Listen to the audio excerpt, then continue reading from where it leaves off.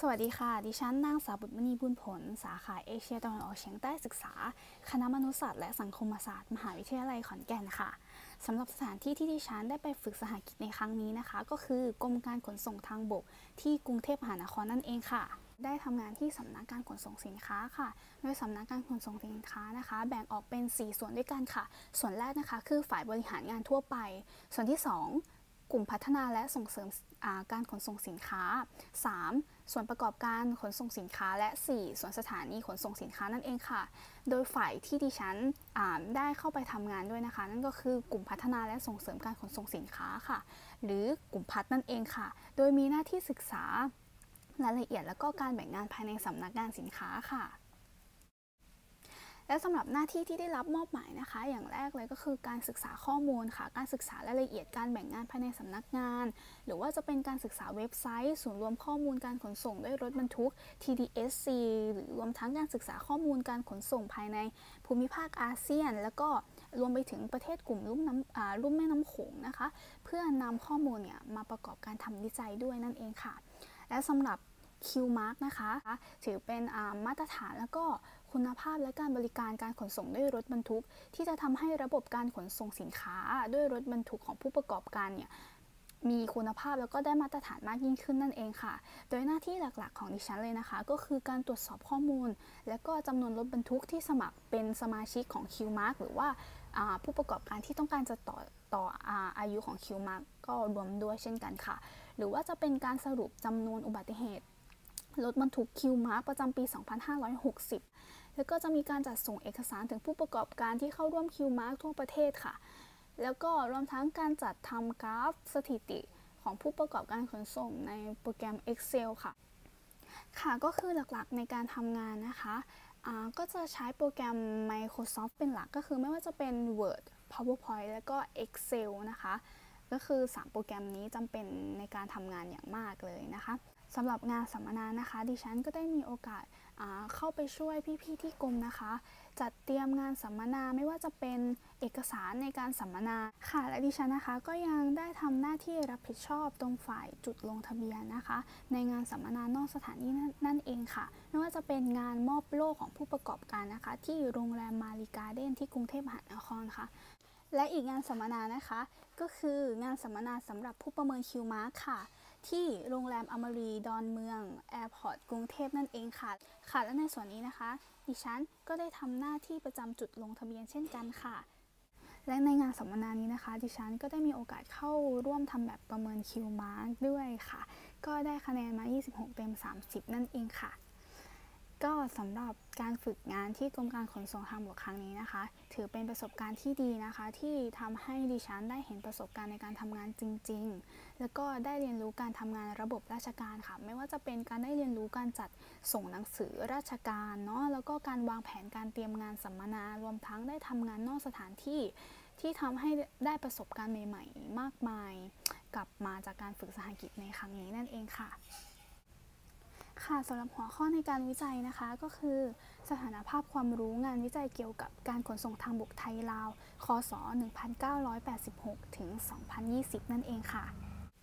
ค่ะสำหรับที่มาและความสำคัญนะคะ ในปัจจุบันวิวัฒนาการของการขนส่งทางบกนะคะ เป็นรูปแบบเสรีมากยิ่งขึ้นค่ะ แต่ละประเทศสามารถติดต่อซื้อขายสินค้ากันได้อย่างง่ายดายค่ะสำหรับประเทศไทยนะคะ การขนส่งทางบก ถือว่ามีส่วนสำคัญอย่างมากต่อการ ขนส่งภายในประเทศนั่นเองค่ะ ในปีคศ 2015 นะคะ เมื่อมีการเปิดเสรีการค้าประชาคมเศรษฐกิจอาเซียนหรือ AEC ขึ้น การขนส่งทางถนน ระหว่างไทยกับประเทศเพื่อนบ้านเนี่ยจึงมีแนวโน้มสูงเพิ่มมากยิ่งขึ้นนั่นเองค่ะ โดยสปปลาวนะคะ ถือเป็นอีกหนึ่งประเทศเพื่อนบ้านที่มีความใกล้ชิดกับไทยค่ะ ไม่ว่าจะเป็นด้านเศรษฐกิจ วัฒนธรรม แล้วก็ด้านการเมืองนั่นเองค่ะ สำหรับด้านการขนส่งคมนาคมทางบกนะคะ สปปลาวถือเป็นประเทศที่รถบรรทุกของไทยเนี่ยเดินทางผ่านข้ามแดนมากที่สุดค่ะ เมื่อเทียบกับประเทศเพื่อนบ้านทั้งหมดที่มีพรมแดนติดกับไทยนั่นเองค่ะ นอกจากนี้นะคะเศรษฐกิจของเราเนี่ยอยู่ในช่วงกำลังพัฒนาจากแลนด์ล็อกคันทรีมาเป็นแลนด์ลิงคันทรีนะคะ โดยมีสะพานแล้วก็ถนนหลายสายที่เชื่อมระหว่างประเทศไทยกับประเทศลาวนั่นเองค่ะ ดังนั้นนะคะจึงทำให้ผู้วิจัยต้องการศึกษางานวิจัยเกี่ยวกับการขนส่งทางบกไทยลาวคศ 1986 ถึง 2020 ว่าเป็นอย่างไรนั่นเองค่ะ ค่ะสำหรับวัตถุประสงค์ในการวิจัยนะคะ คือ 1. เพื่อศึกษาความรู้ทั่วไปเกี่ยวกับการขนส่งทางบกในอาเซียนและไทยลาวค่ะ 2. เพื่อศึกษาสถานภาพความรู้ งานวิจัยเกี่ยวกับการขนส่งทางบกไทยลาว คศ 1986 ถึง 2020 นั่นเองค่ะ และสำหรับวิธีการศึกษานะคะ ดิฉันใช้วิธีการศึกษาทางประวัติศาสตร์ค่ะ เป็นการศึกษาข้อมูลจากเอกสารที่เกี่ยวข้องกับสถานภาพองค์ความรู้ การขนส่งทางบกไทยลาว ประเภทวิทยานิพนธ์ 11 เรื่องค่ะ วิจัย 15 เรื่องค่ะ บทความ 12 เรื่องและวารสาร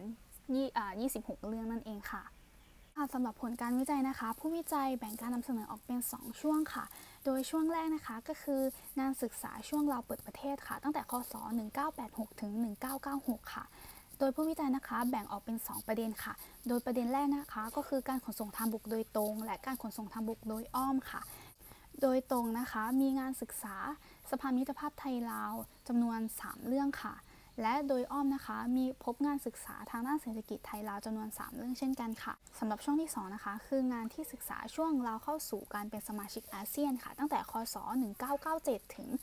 2020 นั่นเองค่ะ โดยการศึกษาทางบกโดยตรงนะคะ พบ 3 ประเด็นด้วยกันค่ะ คือ 1. งานศึกษาสภามิตรภาพไทยลาวจำนวน 6 เรื่องค่ะ 2. งานศึกษาโลจิสติกไทยลาวจำนวน 6 เรื่องค่ะ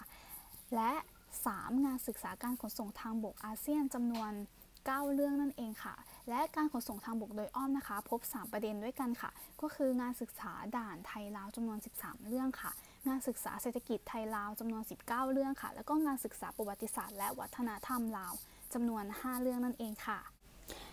ค่ะสำหรับปัจจัยที่มีผลต่องานวิจัยนะคะ ผู้วิจัยพบทั้งหมด 3 ปัจจัยด้วยกันค่ะ ก็คือ 1. สภาพภูมิศาสตร์ 2. การเมือง และ 3 คือเศรษฐกิจค่ะสำหรับงานที่ศึกษาในช่วงแรกคือช่วงที่เราเปิดประเทศนะคะ ก็คือสภาพภูมิศาสตร์ในช่วงนี้การขนส่งไทยลาวเนี่ยเป็นการขนส่งทางเรือข้ามฟากแม่น้ำโขงเป็นหลัก มีสะพานมิตรภาพไทยลาวเนี่ยเพียงแค่หนึ่งแห่งเท่านั้นค่ะในส่วนของการเมืองนะคะ เป็นช่วงที่เริ่มสร้างความสัมพันธ์ หลังจากที่เคยมีความขัดแย้งกันเนื่องจากทั้งสองประเทศเนี่ยมีระบบการปกครองที่แตกต่างกันนั่นเองค่ะ ก็คือลาว มีการปกครองแบบคอมมิวนิสต์ส่วนไทยมีการปกครองแบบประชาธิปไตยนั่นเองค่ะ และสำหรับทางด้านเศรษฐกิจนะคะลาวได้มีการประกาศใช้นโยบายจินตนาการใหม่ และในขณะเดียวกัน ไทยก็ได้ประกาศใช้นโยบายเปลี่ยนสนามรบเป็นสนามการค้า โดยทั้งสองนโยบายนี้นะคะ ถือว่าเป็นนโยบายสำคัญอย่างมากเลยค่ะ ต่อการเปลี่ยนแปลงเนาะเพราะทำให้ทั้งไทยแล้วก็ลาวเนี่ยเปิดรับกันมากยิ่งขึ้นไม่ว่าจะเป็นทางด้านการเมืองแล้วก็ทางด้านเศรษฐกิจที่หันมาร่วมมือกันมากยิ่งขึ้นนั่นเองค่ะ สำหรับในช่วงที่ 2 นะคะ คือช่วงที่เราเข้าสู่การเป็นสมาชิกอาเซียน สภาพภูมิศาสตร์นะคะ ในช่วงนี้เราเนี่ยได้มีการพัฒนาประเทศจากแลนด์ล็อกคันที่มาเป็นแลนด์ลิงคันที่นะคะ โดยการใช้เส้นทางบกเป็นหลักค่ะ จากเดิมใช้เส้นทางเรือเนาะทีนี้มาใช้เส้นทางบกเป็นหลัก โดยมีเส้นทางเชื่อมทางถนนเนี่ย ระหว่างไทยกับลาวเนี่ยเพิ่มมากยิ่งขึ้นค่ะ แล้วก็ในปัจจุบันนะคะ สภามิตรภาพไทยลาวเนี่ยมีด้วยกันทั้งหมด 6 แห่งด้วยกันค่ะสำหรับด้านการเมืองนะคะ ก็ถือว่าเป็นช่วงเริ่มสร้างความสัมพันธ์ที่ดีระหว่างไทยกับลาวเนาะแล้วก็ได้มีความร่วมมือที่ดีต่อกันขึ้นเป็นลำดับค่ะ และสำหรับทางด้านเศรษฐกิจนะคะ หลังจากที่ลาวเข้าเป็นสมาชิกอาเซียนนะคะ ทำให้ลาวเนี่ยเข้าสู่ยุคเสรีการค้ามากยิ่งขึ้นค่ะ ส่งผลให้มีการขยายความร่วมมือทางการค้ากับประเทศไทยมากยิ่งขึ้นนั่นเองค่ะ เมื่อพิจารณาจำนวนงานที่คนพบได้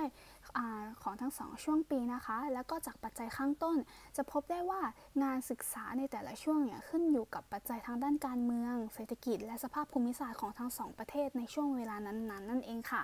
ดังนั้นเมื่อมีการขยายความร่วมมือทางการคมนาคมทางบก ร่วมกัน